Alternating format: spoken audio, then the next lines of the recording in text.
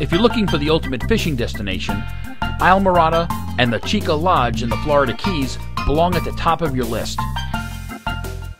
The Keys' subtropical climate, turquoise blue waters, and countless angling opportunities are just a few reasons Islamorada is recognized by many as the sport fishing capital of the world.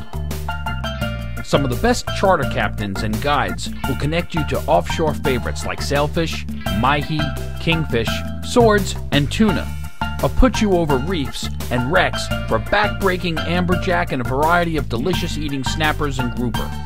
And we've got a wide variety of uh, fish to fish for down here in the Keys. Um, going through the winter, catching a lot of sailfish, kingfish, wahoo, blackfin tuna, uh, bottom fishing for snappers, mutton snappers especially. Here in the spring months, um, April, May, the dolphin fishing really starts to pick up as it warms up, the water's warm.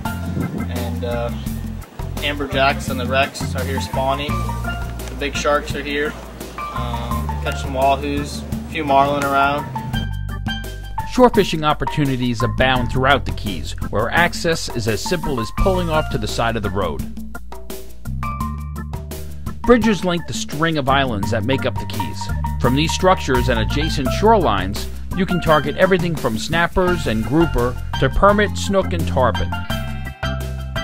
And of course, no visit to the Keys would be complete without a stop at Robbie's, where you can hand feed tarpon weighing well over 100 pounds every day of the year.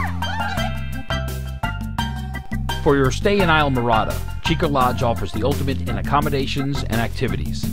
They've done a masterful job of blending luxury with the laid back ambience of the Keys and feature over 1,000 feet of palm lined oceanfront.